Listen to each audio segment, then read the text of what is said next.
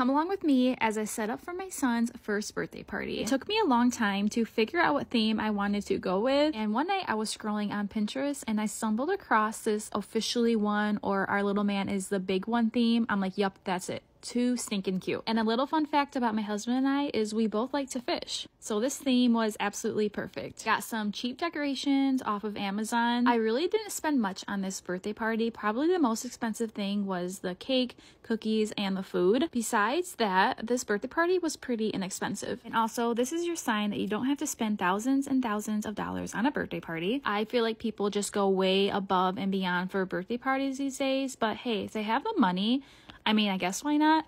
But for me personally, I don't have the money, but I still want to make this day special and be creative with it. I also saved a lot of money because I only invited our close family and friends, and then also we had it at our house. We didn't have to rent out a venue or anything like that. I mean, maybe one day in the future, if my kids want to have a birthday party at a bounce house or a children's museum or anything like that, then maybe it's worth spending the money. But for right now, in this day and age with my kids, it's not worth it. They will feel the love no matter where their birthday party is. And also, when I said I like to be creative for birthday parties, I should have reworded that because I'm not a very creative. Shout out to Pinterest. I pretty much found all of these decoration ideas off of Pinterest. So yeah, if it wasn't for the good old Pinterest and Amazon, I would have been screwed for today. I also told myself I was not going to do a balloon arch because they are a pain. I just love the look of balloon arches and the background for like the cake smash. So the labor is worth it, maybe.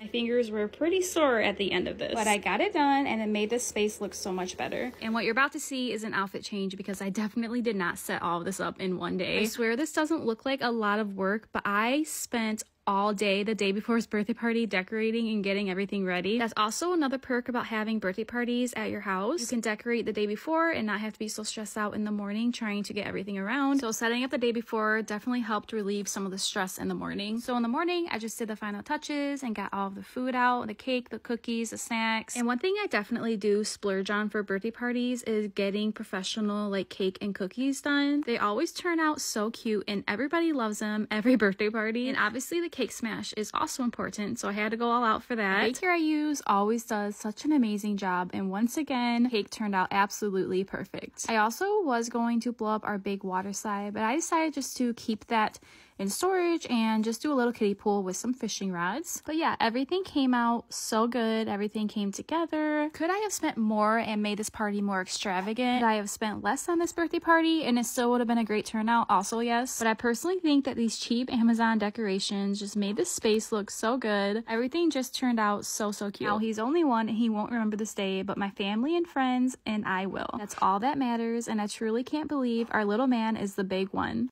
Happy birthday